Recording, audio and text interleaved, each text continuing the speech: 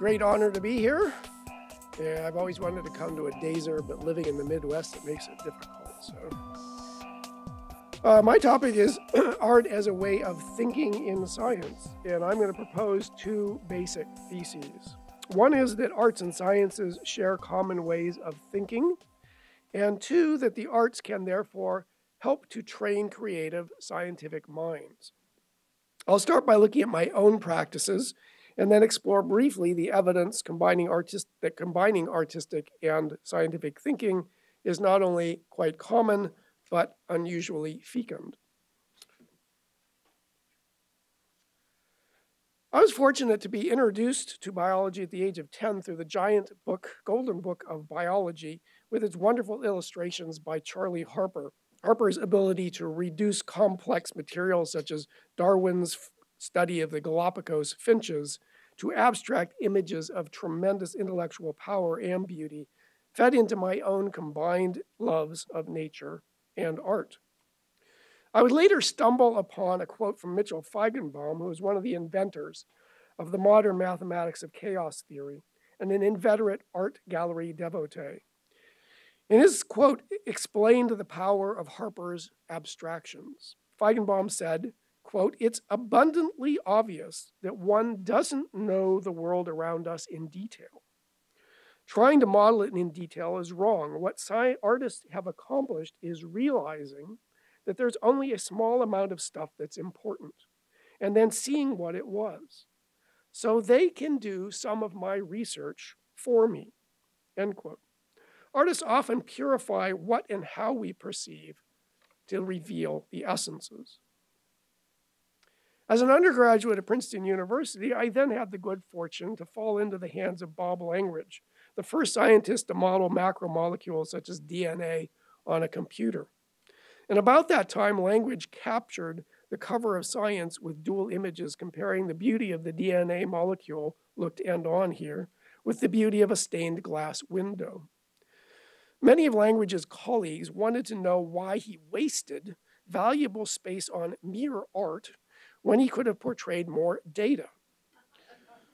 But Langridge was pleased that his students all got the point that great scientists should be as beautiful as great art. So, thus encouraged, I've used my artistic approach to doing science. All of my research involves molecular and higher order forms of complementarity in which each figure defines the shapes of another. Base pairing between nucleotides is one form of molecular complementarity. Ligand receptor specificity, substrate enzyme, antigen antibody recognition are other well known forms. But my own research suggests that such well known types of complementarity only scratch the surface of the possibilities that evolution has explored, and that these wider, wider possibilities explain the process by which what we call interactomes, shown on the right, which characterize all cellular systems, may have evolved. And indeed, much of my research into complementarity is artistic, as illustrated on the left. I explore through cut paper constructions how simple evolutionary rules govern changes introduced into a system of complementary interactions. When I'm lucky, the results work purely as art, but they also reveal the principles by which the science works. Happily, some of the editors of journals like this artistic approach enough to use it as cover art or as illustrations accompanying my publications, and in this case, Chemistry and Industry was nice enough to do both for an article I wrote on molecular paleontology, which is basically about the idea that the selection system is embedded in the molecules we now see so that we can look back in time at how they evolved. I've even taken to collaborating with a professional transmedia artist, Adam W. Brown, who specializes in adapting scientific materials and methods to produce new forms of art. This image shows two views of our installation, Origins of Life 1.4, which has been exhibited now at a number of galleries around the world. It consists of a reimagining of the famous Stanley Miller Origins of Life experiment, in which he exposed a primordial atmospheric gases to electrical discharges to synthesize amino acids.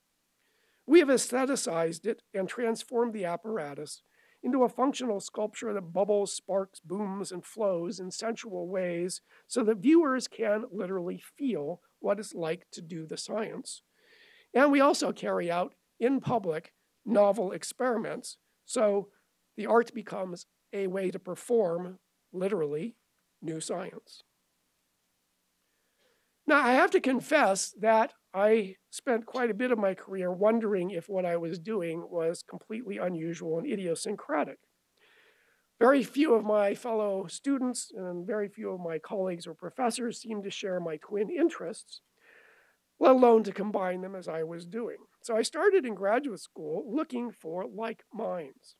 I was fortunate enough to stumble upon an essay called Imagination in Science by J.H. Van't Hoff, who was the first Nobel Prize winner in chemistry.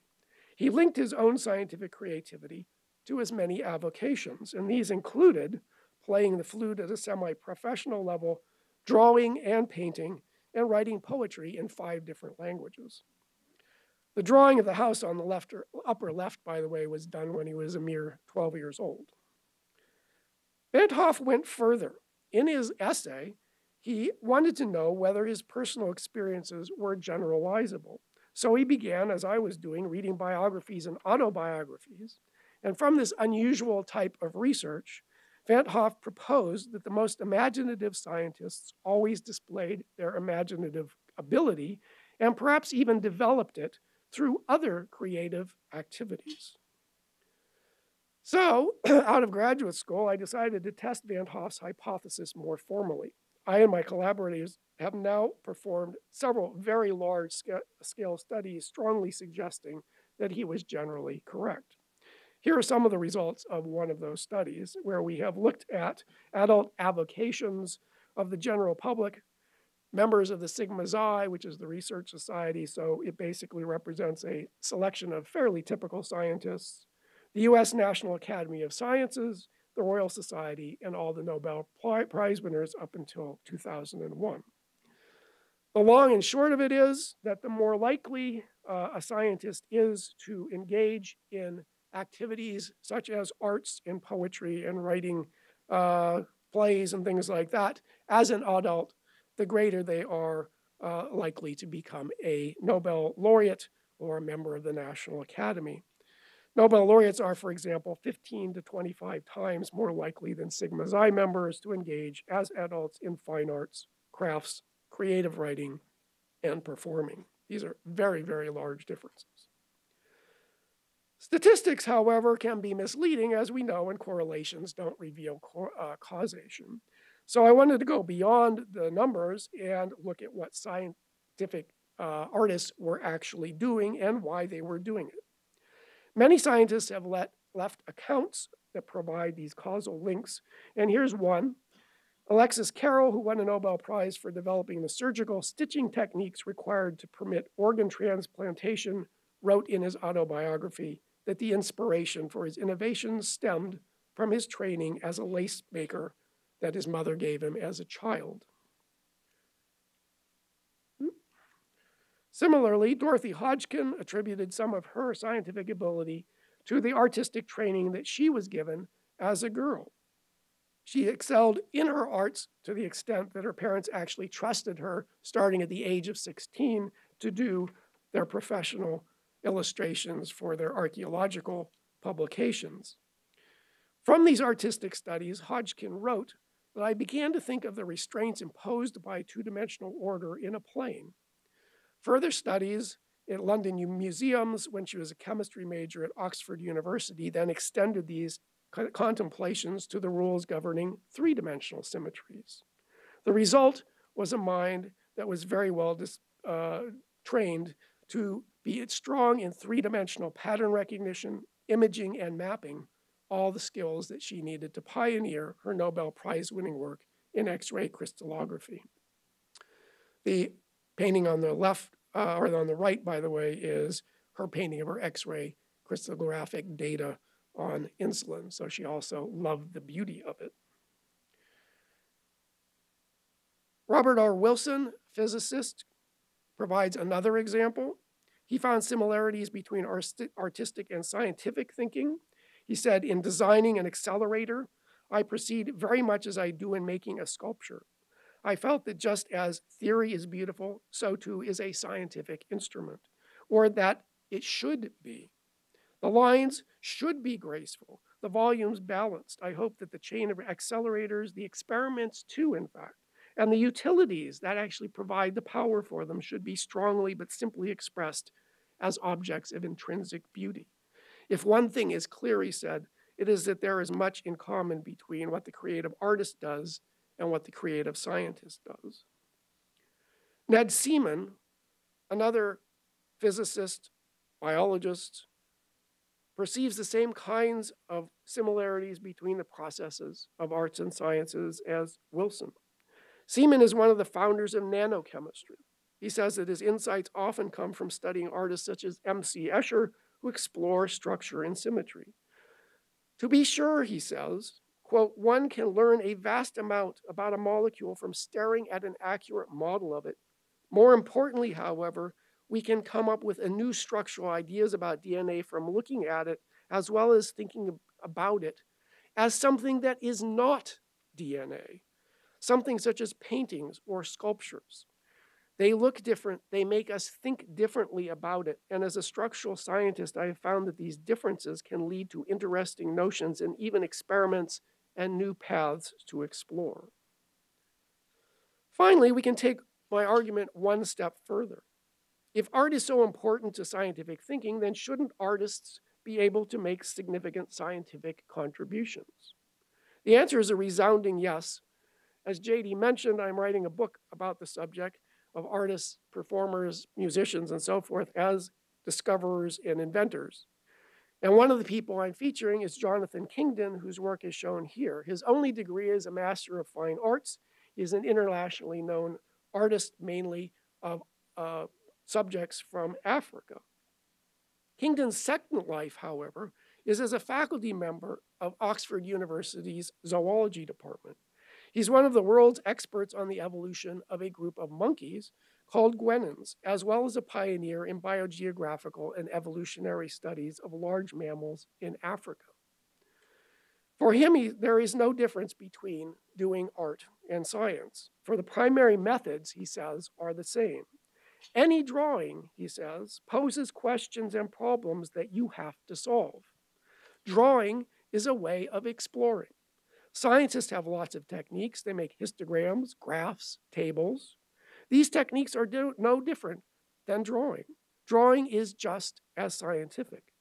And here he's showing abstractions of Guenon faces in order to understand how the facial coloring patterns were related to each other through evolution. Too much detail can disturb our ability to see the essences, and so we're back to Charlie Harper's finch abstractions of the Galapagos that, that Darwin studied.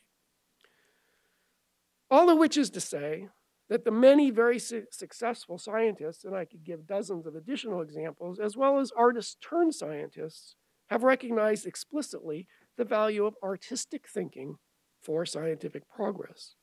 The late Cyril Stanley Smith of MIT may have stated this point most clearly when he said, I have slowly come to realize that the analytical, quantitative approach that I had been taught to regard as the only respectable one for a scientist is insufficient. The richest aspects of any large and complicated system arise from factors that cannot be measured easily, if at all. For these, the artist's approach, uncertain though it may be, seems to find and convey more meaning. So, what I want to conclude with here is a choice that we face both personally, educationally, and as a society. It's a choice that I can't put into words, so I've drawn it. Basically, these are the disciplines. Each one has its own style, its own language, its own content. They spend a lot of time trying to be different from each other. But imagine if we could think about the processes and the ways we know things in an integrated way so we can see them all in the same basic style. But look at them carefully. Look at those shapes because there's another level that we can get to as well.